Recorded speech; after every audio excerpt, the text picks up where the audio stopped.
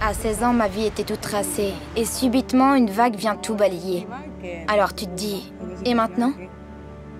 Plus rien n'avait de sens pour moi. Je n'avais en tête que ma révolution fantôme, mes amis, l'alcool, la violence. Petit à petit, je détruisais ma famille.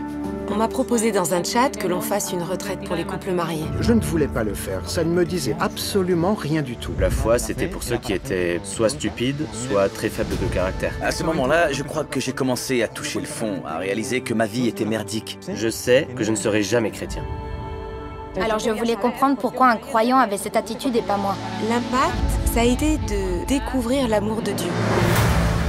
Je voyais ces religieuses et comment irradiait de leur visage une lumière, une tranquillité, un bonheur. Ce que je cherchais sans le savoir, c'est ce que ces femmes possédaient. Je ne savais pas où j'allais. Je ne savais pas ce que j'allais y trouver. Et tout d'un coup, les lumières se sont éteintes et...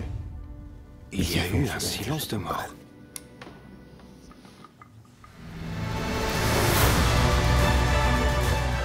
Il y a certains moments dans la vie, des instants, qui polarisent toute votre existence.